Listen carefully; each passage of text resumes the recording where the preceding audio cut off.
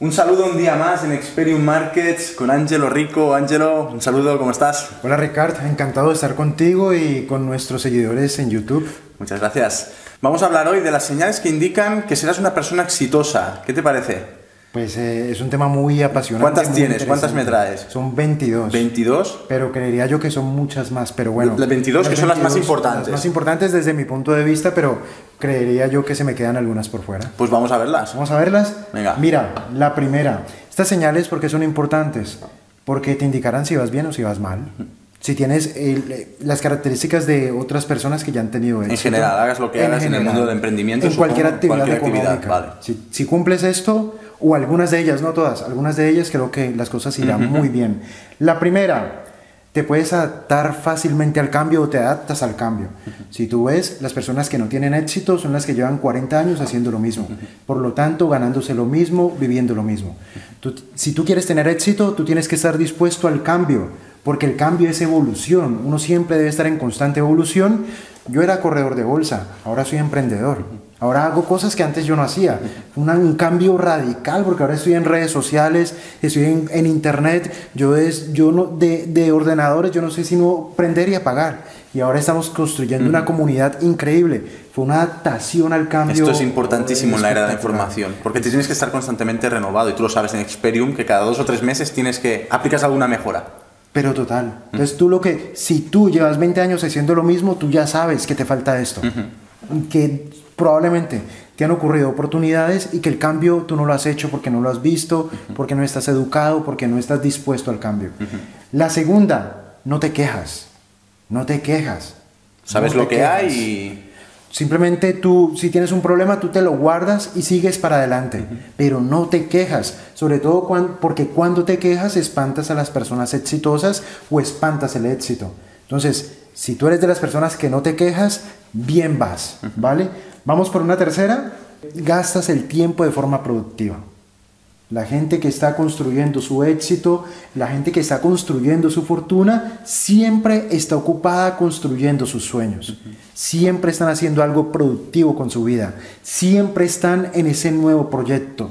Siempre están haciendo algo que mejora lo que ellos hacen o el producto que ellos ofrecen. Entonces siempre están, es decir, ¿por qué en la televisión no hay eh, comerciales de Porsche o comerciales de Lamborghinis? porque la gente rica no está viendo la tele. Entonces, en la televisión lo que aparecen son los productos que uno va al supermercado y ve, ven las estanterías y que son los que compra la gente pobre y la clase media. Entonces, el tiempo, ¿cómo lo utilizamos? ¿Productivamente, o improductivamente? Vamos a otra. Eres una persona motivada. Esto lo hablábamos en un video anterior y es que... La capacidad de automotivarnos. De automotivarse. Tú no necesitas que te estén dando palmaditas en la espalda, ni, que, ni que te estén diciendo supera la uniquita, saca el campeón que llevas por dentro. No, tú te automotivas porque tú sabes para dónde vas, ¿vale? Entonces esa es una clave. Otra, no dudas en hacer más de aquello por lo que te pagan. Si tú quieres ganar más, primero tienes que convertirte en más.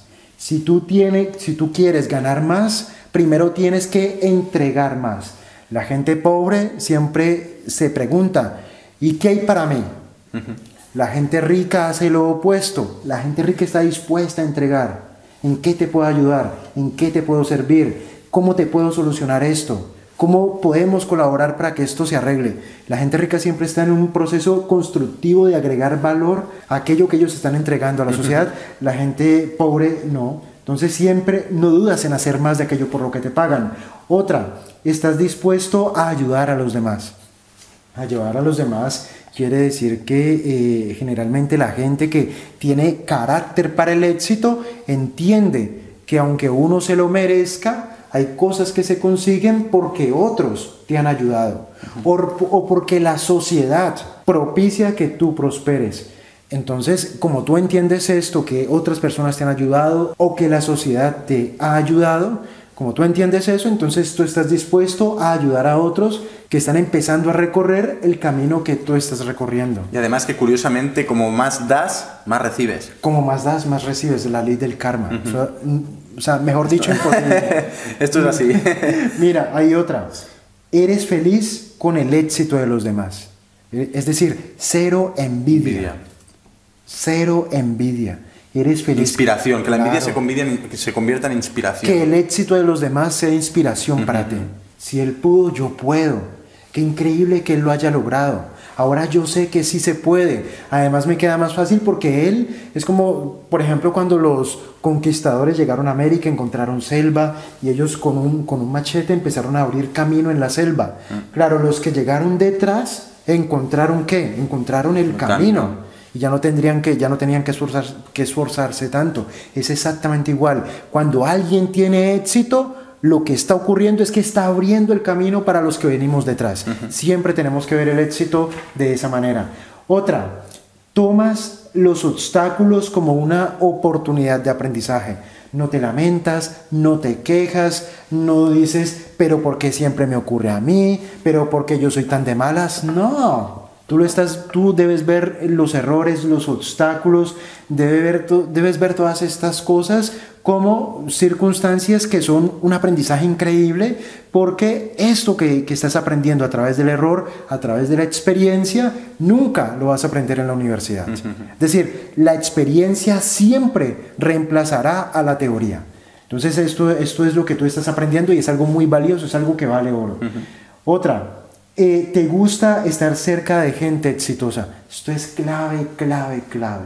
Cuando tú entiendes lo importante que es hacer networking con gente exitosa. En eso te conviertes, ¿no? Tú si en te eso te en- conviertes porque eso se pega. Los marihuaneros con marihuaneros, los alcohólicos con alcohólicos, los dro- drogadictos con drogadictos, ladrones con ladrones, exitosos con exitosos, tiburones con tiburones. Es así, a ti se te pega, sino que al final tú terminas poniéndole tu toque o tu personalidad, pero el éxito se pega y es importante que tengas ese networking. Vamos para otra, asumes re- responsabilidad de todo lo que haces y nunca culpas a nadie. Yo me encuentro con gente de 40 años que estamos hablando de cómo va su trayectoria, sus resultados, me dicen, no, es que la verdad es que lo que todo esto es culpa de mis padres. Y yo, pero tío, tú tienes 40 años. Aquí, si tú no tienes la culpa de nacer pobre, pero sí la tendrás de morir pobre. Y a los 40 años tus padres no tienen nada que ver.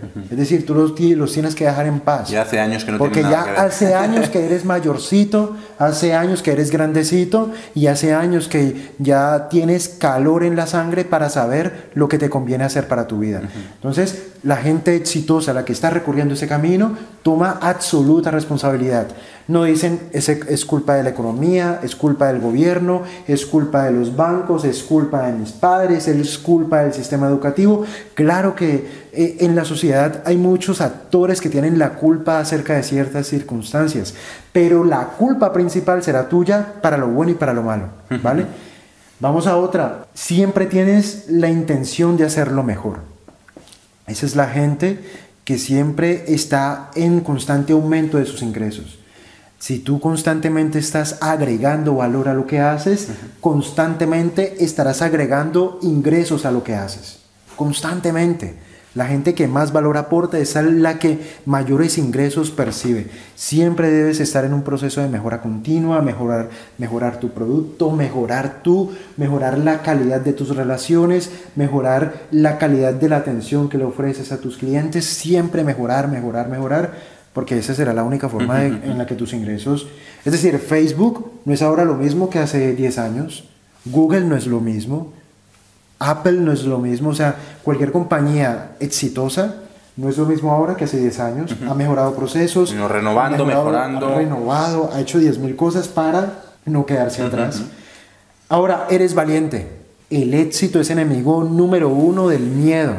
El éxito es enemigo número uno de los blandos. El éxito es el enemigo número uno de las personas que van a medias en todo. El éxito es el enemigo número uno de las personas que dicen ya veremos qué pasa, lo intentaré, vamos a ver qué ocurre. No funciona. El éxito es el, es el amigo número uno de los valientes, de los que se arriesgan.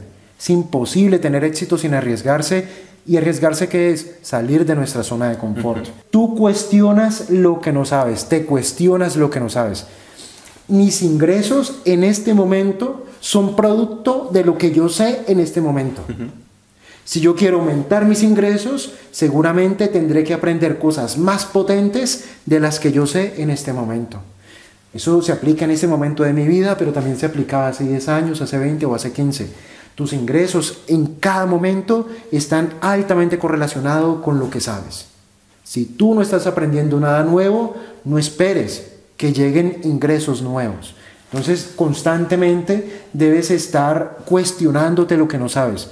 Claro, si tú eres pobre, tus ingresos son mediocres, el barrio en el que vives, en el que vives es mediocre, tu casa es mediocre, el colegio de tus hijos es mediocre, tu empleo es mediocre, algo te estarás perdiendo o algo habrá que no sabes.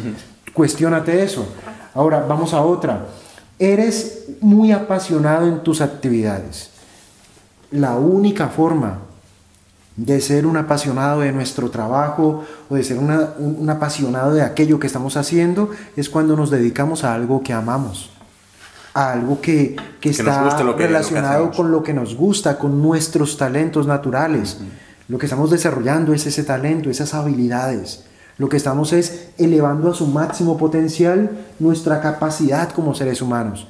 Es decir, si Messi, que es el mejor jugador del mundo según muchos, fuera un gordinflón, ¿podría o no jugar como juega? Probablemente no, Él tiene que entrenar, él tiene que eh, hacer un ejercicio para mantenerse en forma, para correr. Él tiene que estar siempre alerta para que sus talentos y lo puede hacer porque el fútbol es su vida y porque el fútbol es lo que, lo que le mueve. Si tú te miras, eh, el trabajo de un futbolista es duro porque, claro, es que a, casi a ninguno de nosotros nos gustará el gimnasio. Uno suda, estás allá tres horas, dos horas, cuatro horas, pero tú vas si quieres. Un futbolista tiene que ir a entrenar porque es su trabajo. Claro, si a ti no te gusta ser futbolista, ¿cómo vas a entrenar todos los días? Es muy difícil y así para todo. Ahora vamos a otra. Comprendes tus fuerzas y tus debilidades. Comprendes en qué eres fuerte y en qué eres débil. Y esto yo lo complementaría con lo siguiente. En lo que eres fuerte, te refuerzas. En lo que eres débil, contratas a otro para que lo haga. O te consigues quien lo haga, o lo tercerizas, o lo eliminas. Nos tenemos que focalizar en aquello en lo que somos en lo que somos fuertes. Si eres malo en matemáticas y eres genial en música, en lo que te tienes que enfocar es en música. Es una tontería que te enfoques en matemáticas solo por poner un ejemplo, no porque sea enemigo de las matemáticas. Esto es lo que dice, yo no sé, este libro de 80-20, de, el libro escrito por Pareto, el 20% de lo que haces determina el 80% de lo que ingresas. Enfócate en ese 20% y ese otro 80% que genera tan poco en tu vida, tercerízalo o elimínalo. Entonces esto, ahora vamos al siguiente, reconoces tus errores, reconoces tus errores, no nos tiene por qué dar pena equivocarnos. El, uno de los problemas del mundo latino, del mundo hispano, es que le da pena haber quebrado, le da pena mm. haber metido la pata, le da pena haber fracasado. En el mundo anglosajón eso es genial, te da puntos, te genera un mérito. Experiencia. Te genera eso, para otros eso es experiencia. Quebraste, ven para acá, explícame qué pasó, porque esto puede funcionar. O sea, tú ya sabes cómo no regarla ahora. Tú eso lo sabes, eso es valiosísimo. Es un paso menos hacia el éxito. Es un paso menos, mejor dicho, imposible, pero es que lo estás haciendo súper bien, Muchas gracias.